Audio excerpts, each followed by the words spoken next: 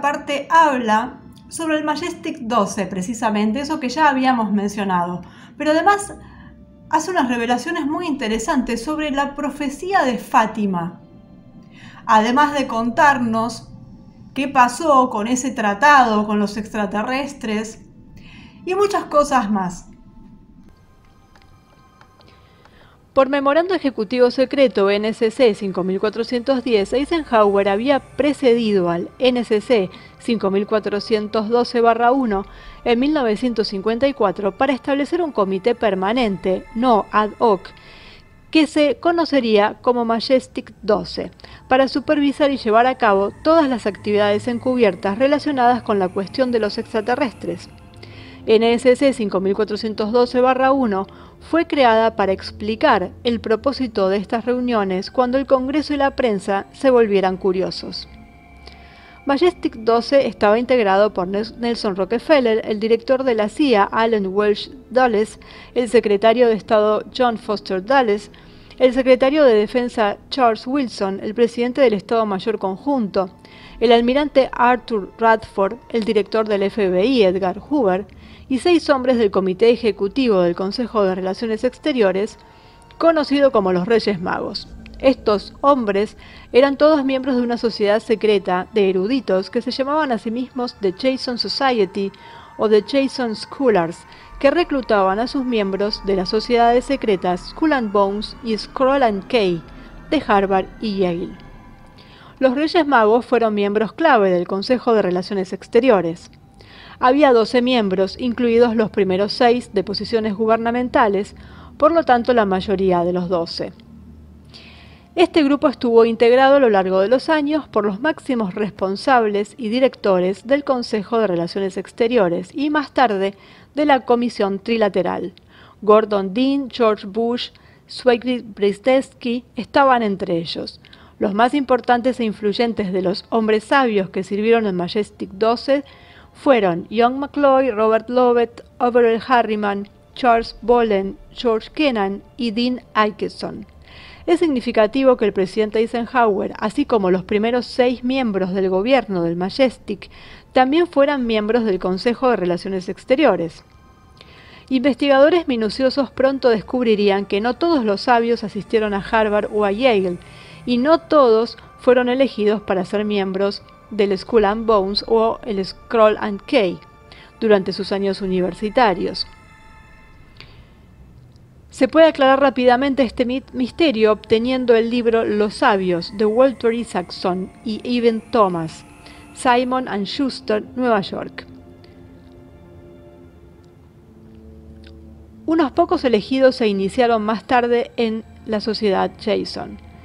Todos ellos son miembros del Consejo de Relaciones Exteriores y en ese momento se los conocía como el Establecimiento del Este. Esto debería dar una pista sobre la naturaleza seria y de largo alcance de estas sociedades universitarias secretas. La Jason Society está viva y coleando hoy, pero ahora también incluye miembros de la Comisión Trilateral. Los trilateralistas existieron en secreto varios años antes de 1973. El nombre de la comisión trilateral fue tomado de la bandera alienígena conocida como la insignia trilateral. Majestic 12 iba a sobrevivir hasta el día de hoy. Bajo Eisenhower y Kennedy se lo llamó erróneamente el Comité 8412, o más correctamente el Grupo Especial. En la administración Johnson se convirtió en el Comité 303 porque el nombre 8412 había sido comprometido en el libro El Gobierno Secreto, en realidad, NSS 5412-1 se filtró al autor para ocultar la existencia del NSC 5410. Bajo Nixon, Ford y Carter se llamó el Comité 40 y bajo Reagan se convirtió en el Comité PI 40. En 1955 se hizo evidente que los extraterrestres habían engañado a Eisenhower y habían roto el tratado se encontraron humanos mutilados junto con animales mutilados en todo Estados Unidos. Se sospechaba que los extraterrestres no presentaban una lista completa de contactos humanos y secuestrados al Majestic 12 y se sospechaba que no todos los secuestrados habían sido devueltos. Se sospechaba que la Unión Soviética interactuaba con ellos y esto resultó ser cierto. Se supo que los extraterrestres habían estado y luego estaban manipulando masas de personas a través de sociedades secretas, brujería, magia, ocultismo y religión. En noviembre de 1955 se emitió el NCC 5412-2 estableciendo un comité de estudio para explorar todos los factores que están involucrados en la elaboración e implementación de la política exterior en la era nuclear. Esto era solo un manto que cubría el tema real de estudio, que era la cuestión alienígena. Henry Kissinger fue elegido director de estudio del grupo durante los segundos 18 meses. Nelson Rockefeller fue un visitante frecuente durante los estudios. Los miembros de este grupo fueron los siguientes: Gordon Dean, presidente, Dr. Sigrid Brzezinski, director del estudio en la primera fase, Henry Kissinger, director del estudio en la segunda fase. Y los miembros Edward Teller, Hanson Baldwin, Frank Nash, Charles Noyce, James Perkins, David Rockefeller, Teniente General James Gavin, James Hill Jr., Mervyn Kelly, Hamilton Fish Armstrong, Robert Bowie, William Burden, Thomas Finliter, N. E. Halaby, Henry de Wolf Smith, Carol Wilson, General Richard Lindsay, Lloyd Bergner, Paul Nietzsche, Franz Pace Jr., Don Price, Oscar Rubhausen, Carol Haskin, Joseph Johnson, Frank Altschuld, el mayor general James McCormack Jr., McGeorge Bondi, John Campbell, George Franklin Jr., Roswell Gilpatrio, el general Walter Biddle Smith, Arnold Wolfers. Las reuniones de la segunda fase también se llevaron a cabo en la base marina en Cuántico, Virginia, y el grupo se conoció como Cuántico 2. Nelson Rockefeller construyó un refugio en algún lugar de Maryland al que solo se podía llegar por aire para Majestic 12 y el comité de estudio para que pudieran reunirse lejos de la vista pública. Este lugar de reunión secreto se conoce con el nombre en clave de The Country Club. En el lugar existen instalaciones completas para vivir, comer, recreación, biblioteca y reuniones.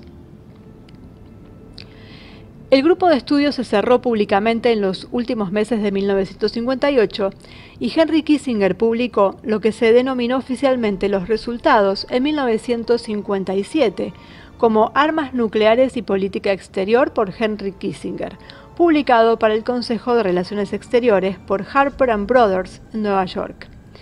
En verdad el manuscrito ya había sido escrito en un 80% mientras Kissinger estaba en Harvard. El grupo de estudio continuó velado, velado en secreto. Una pista de la seriedad que Kissinger atribuyó al estudio se puede encontrar en las declaraciones de su esposa y amigos, Muchos de ellos dijeron que Henry salía de casa temprano cada mañana y regresaba tarde cada noche sin hablar con nadie ni responder a nadie. Estas declaraciones son muy reveladoras. Las revelaciones de la presencia y las acciones extraterrestres durante el estudio deben haber, haber sido un gran impacto. Henry Kissinger definitivamente estuvo fuera de lugar durante el tiempo que rodeó estas reuniones nunca más se vería afectado de esta manera, sin importar la gravedad de cualquier evento posterior. En muchas ocasiones trabajaba hasta altas horas de la noche, después de haber trabajado todo el día. Este comportamiento eventualmente lo llevó al divorcio. Un hallazgo importante del estudio extraterrestre fue que no se podía decirle al público, ya que se creía que esto sin duda conduciría al colapso económico, al colapso de la estructura religiosa y al pánico nacional, que conduciría a la anarquía. El secreto continuó. Una consecuencia de este hallazgo era que al no poder informársele al público, no se le podía informar al Congreso, por lo que la financiación de los proyectos y la investigación tendrían que provenir de fuera del gobierno. Mientras tanto, se obtendría dinero del presupuesto militar y de fondos confidenciales no asignados de la CIA. Otro hallazgo importante fue que los extraterrestres estaban usando humanos y animales como fuente de secreciones glandulares enzimas, secreciones hormonales, sangre y en horribles experimentos genéticos. Los alienígenas explicaron estas acciones como necesarias para su supervivencia. Afirmaron que su estructura genética se había deteriorado y que ya no podían reproducirse. Afirmaron que si no podían mejorar su estructura genética, su raza pronto dejaría de existir. Miramos sus explicaciones con extrema sospecha. Dado que nuestras armas eran literalmente inútiles contra los alienígenas, el Majestic 12 decidió mantener relaciones diplomáticas amistosas con ellos hasta que pudiéramos desarrollar una tecnología que nos permitiera desafiarlos a nivel militar. Habría que hacer insinuaciones a la Unión Soviética y a otras naciones para unir fuerzas para la supervivencia de la humanidad. Mientras tanto, se desarrollaron planes para investigar y construir dos sistemas de armas utilizando tecnología convencional y nuclear, lo que con suerte nos llevaría a la paridad. Los resultados de la investigación fueron los proyectos Joshua y Excalibur. Joshua era un arma capturada a los alemanes que en ese momento era capaz de romper una placa de blindaje de 4 pulgadas de espesor a un rango de 2 millas usando ondas de sonido de baja frecuencia, y se creía que esta arma sería efectiva contra las naves alienígenas y las armas de rayos. Excalibur era un arma transportadora por misiles que no debía exceder los 30.000 pies AGL, que no se desviaba del objetivo designado a más de 50 metros, penetraría 1.000 metros de tierra compacta de toba, como la que se encuentra en Nuevo México, llevaría una ojiva de un megatón y estaba destinado a destruir a los alienígenas en sus bases subterráneas. Yoshua se desarrolló con éxito, pero nunca se usó que yo sepa. Excalibur no se impulsó hasta los últimos años y ahora hay un esfuerzo sin precedentes para desarrollar esta arma. Los acontecimientos de Fátima en la primera parte del siglo fueron analizados. Ante la sospecha de que se trataba de manipulación extraterrestre, se puso en marcha una operación de inteligencia para penetrar el secreto que rodeaba el evento. Estados Unidos utilizó sus topos del Vaticano, que habían sido reclutados y alimentados durante la Segunda Guerra Mundial, y pronto obtuvo el estudio completo del Vaticano que incluía la profecía. Esta profecía declaraba que si el hombre no se apartaba del mal y se colocaba a los pies de Cristo, el planeta se autodestruiría y los eventos descritos en el libro del Apocalipsis ciertamente llegarían a suceder. Declaró que nacería un niño que uniría al mundo con un plan para la paz mundial y una religión falsa a partir de 1992. Para 1995 la gente se daría cuenta de que él era malvado y que de hecho era el anticristo. La Tercera Guerra Mundial comenzaría en el Medio Oriente en 1995 con una invasión de Israel por una nación árabe unida, usando armas convencionales que culminaría en el holocausto nuclear en el año 1999. Entre 1999 y 2003, la mayor parte de la vida en este planeta sufriría horriblemente y moriría como resultado. El regreso de Cristo ocurriría en el año 2011. La Tercera Guerra Mundial comenzaría en el Medio Oriente. Cuando los extraterrestres se enfrentaron a este hallazgo, confirmaron que era cierto. Los extraterrestres explicaron que nos habían creado a través de la hibridación y habían manipulado a la raza humana a través de la religión, el satanismo, la brujería, la magia y el ocultismo. Explicaron además que eran capaces de viajar en el tiempo y que los eventos de hecho llegarían a suceder. La explotación posterior de tecnología alienígena por parte de Estados Unidos y la Unión Soviética, utilizando viajes en el tiempo, confirmó la profecía. Los extraterrestres mostraron un holograma que, según afirmaron, era la crucifixión real de Cristo, que el gobierno filmó. No sabíamos si creerles o no. ¿Estaban usando religiones genuinas para manipularnos o eran de hecho la fuente de nuestras religiones con las que nos habían estado manipulando todo el tiempo? ¿O fue este el comienzo de los tiempos finales genuinos y el regreso de Cristo que había sido predicho en la Biblia? Nadie supo la respuesta. En 1957 se celebró un simposio al que asistieron algunas de las mentes científicas más importantes de la época. Llegaron a la conclusión de que para el año 2000, o poco después, el planeta se autodestruiría debido al aumento de la población y la explotación del medio ambiente por parte del hombre sin ninguna ayuda de Dios o de los extranjeros. ¿Realmente es esa la interpretación? ¿Es lo que supuestamente dijeron estos seres algo real? ¿Vamos camino a la autodestrucción o es un discurso más para engañarnos? Bueno, ahí está. Es lo que él cuenta que dijeron estas criaturas.